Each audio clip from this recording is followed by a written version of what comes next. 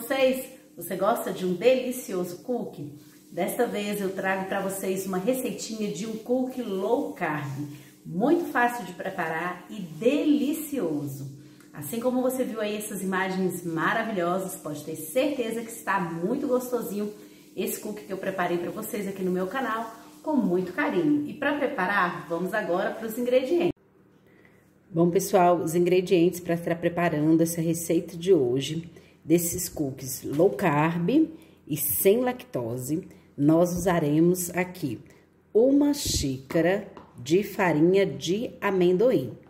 Utilizarei também uma xícara e meia de resíduo do amendoim. Esse resíduo eu obtive fazendo, preparando o leite de amendoim, um leite vegano, que eu tenho um vídeo aqui no YouTube, tenho no Instagram também, tá? Então, é uma forma de você estar é, utilizando o resíduo do leite de amendoim, um leite vegetal maravilhoso. Então, uma xícara de farinha de amendoim para uma e meia de resíduo de amendoim. Utilizaremos também uva passa a gosto ou chocolate. Você pode usar gotas, pode usar chocolate picado. Utilizaremos também 3 colheres de sopa de manteiga ghee, que é totalmente sem lactose, ou também você pode estar utilizando, é, utilizando óleo de coco ou qualquer outro óleo vegetal da sua preferência. E também utilizaremos açúcar a gosto, aqui eu tenho duas colheres de açúcar demerara, pode ser adoçante culinário também, duas colheres de sopa cheia de polvilho doce, um ovo, tá? Que eu tenho um ovo grande, e água até dar o ponto, tá? Aproximadamente menos de meia xícara de água para estar tá fazendo esses cookies. De todos esses ingredientes de hoje, a estrela da vez é o amendoim.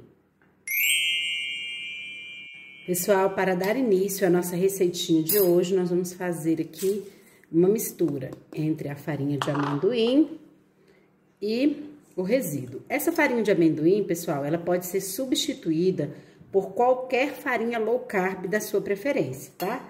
Se você tiver uma farinha de amêndoa, ah, uma farinha de castanha, de caju, de castanha do Pará, você pode estar utilizando. Não precisa ser necessariamente a farinha de amendoim, não. Agora, o resíduo é o resíduo também da sua preferência. Você pode estar fazendo esses mesmos cookies utilizando o resíduo de castanhas no geral, tá? Castanha de do Pará, da própria amêndoa, tá? A minha sugestão hoje é do leite, que foi retirada do leite de amendoim, porque é um leite de mais fácil acesso, leite vegano grossinho, delicioso e acessível pra gente. Bom, o amendoim é a nossa estrela da vez de hoje. Ele contém vitamina E, vitamina B, magnésio, zinco, ácido fólico, fósforo, cobre, Potássio, também ele contém o cálcio, ômega 9 e ômega 6. Agora, nós vamos estar utilizando aqui polvilho. E também eu vou já estar colocando o açúcar. É, você pode estar utilizando também adoçante, caso você seja diabético, tá? Mas o açúcar demerara, ele é considerado um açúcar bem saudável. Você pode estar utilizando também no lugar desse açúcar um açúcar de coco ou um açúcar mascavo, tá? Porque vai ficar bem gostosa a sua receitinha.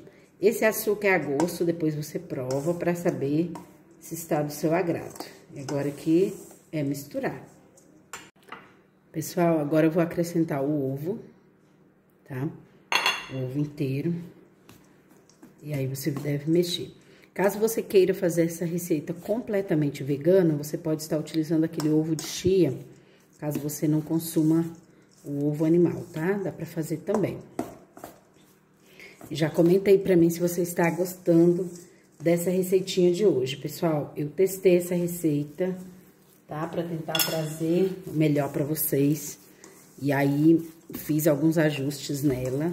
Observa que juntando assim, ó, já daria para formar o quê? Para formar biscoito, né? Mas aí nós vamos encorpar também mais alguns ingredientes aqui, ó. A manteiga, nós estamos utilizando a manteiga ghee, mas você pode estar utilizando qualquer da sua preferência, como eu falei. E nós vamos estar utilizando essas três colheres de sopa, por quê? Porque o amendoim, a farinha de amendoim, ela contém bastante óleo. É um óleo saudável, né? Rico em colesterol bom. Porém, como o farelo foi, foram utilizado no leite bastante óleo do próprio amendoim, então no farelo ou na, no resíduo não sobra quase nada de óleo. Por isso é que eu acrescentei, porque vai dar mais liga, ó. A, a massa tá bem mais macia do que quando eu gravei a minha receitinha teste. Ó, agora lembra que eu falei para vocês da água? A água nós não temos uma quantidade específica, nós vamos colocar apenas para dar liga. Aqui eu acredito que não vai nem duas colherinhas de suco. Caso você exceda a quantidade de água, você pode estar também colocando um pouquinho mais do polvilho, tá? Mas isso é se você vê que tem uma necessidade, se ela passou do ponto. E agora nós vamos sovar aqui, até a gente perceber que tá no ponto de preparar aqui já os cookies, tá? Pessoal, já estou com a minha massa aqui, aí eu vou mostrar pra vocês aqui o ponto dela, ó. Ela tá bem macia, tá vendo, ó? Não tá seca.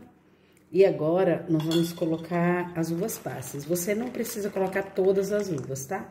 Você pode estar deixando, reservando algumas pra decorar. Se você estiver utilizando chocolate Aí fica opcional, você misturar algumas gotinhas na massa ou uns pedacinhos na massa. Mas quando eu fiz com chocolate, na minha receita teste, eu coloquei apenas no final, tipo já para depois dele enroladinho para decorar. Aí fica a seu critério, não vai alterar não. No caso das uvas passas aqui, estou acrescentando elas misturadas na receita, porque é interessante, né? Está comendo e encontra as uvinhas passas. Então, agora eu vou mostrar aqui para vocês como que eu vou fazer aqui, ó, é uma massa, como eu falei para vocês, ela tem uma certa oleosidade. Você pode estar tá medindo uma, aproximadamente, vamos dizer aqui, uma colher, né, de sopa. Vamos pegar aqui uma medidinha, tá? Mas isso aí não, não vai influenciar na receita, não. O tamanho dos cookies. Aí você vai dar uma, uma amassadinha. Ó, olha, é uma massa tão boa que dá até para bolear. Aí você vai fazer... Um, um disco, tá? Eu fiz uma bolinha, alguma rachadurinha, não tem problema, tá, gente? Por causa do polvilho e, e do própria gordura do amendoim, elas vão se unindo aqui, ó, e vai fazer um cookie bem, bem gostoso. Pessoal, eu estou utilizando aqui uma forma, eu, eu coloquei papel manteiga e passei um pouquinho de manteiga ghee. Eu gosto de fazer assim para garantir que não vai grudar, tá? Se você estiver usando óleo de coco, você faz com óleo de coco. Aí lembra lá daquele cookie que nós enrolamos? Você vai colocar o cookie aqui, deixa eu puxar mais para a câmera mostrar. Aí você vai colocar em cima dele é, as uvas passas ou chocolate, se você estiver fazendo de chocolate, tá? Você pode colocar assim, ó. Não precisa apertar muito, né, para não estar tá quebrando a massa. Mas aí você dá uma apertadinha assim. E aqui você já vai ter um cookie pronto. Eu vou fazer mais um para mostrar para vocês como é que eu tô fazendo ali. Mas é muito simples, tá? Então, ó, aqui, ó, eu tô amassando, aí eu vou unir. Para unir não tem dificuldade alguma, por causa da quantidade de manteiga, tudo, da oleosidade do amendoim. Aí você vai bolear, esse meu aqui ficou menorzinho. Você vai bolear aqui, ó, ajeitar a lateral, colocar na forma e depois que você fizer tudo isso, ou você pode fazer um a um, você vem colocando aqui é, as uvas passas, tá bom? Bom, pessoal, já coloquei aqui todos os cookies na forma, deu essa quantidade. Se você quiser, você pode estar dobrando a sua receitinha. Essa aqui é uma receita básica de cookie, tá? Aí você vai colocar para assar no forno a 200 graus aproximadamente. Se o forno for quentinho, você pode colocar a 180, se, for, se ele for um forno mais rápido. O meu não é tanto. Só toma cuidado para não queimar os cookies, porque nós estamos utilizando farinha low carb e elas assam facilmente, tá? Então você fica observando aí entre 20 e 25 minutinhos, pode ser para mais, para menos, mas Observa bem, cuidado para que eles não queimem. Já já eu mostro para vocês como que ficaram esses deliciosos cookies low carb de hoje sem lactose.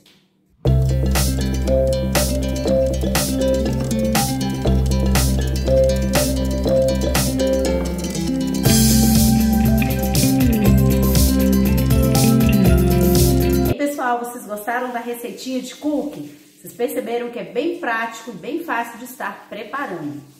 Eu fiz esse cookie, como vocês viram, com os resíduos do leite vegetal de amendoim. Essa receita já está no Instagram. E se você ainda não me segue lá, aproveita para também me seguir no Instagram. Compartilhe esse vídeo com um amigo e me dê um like.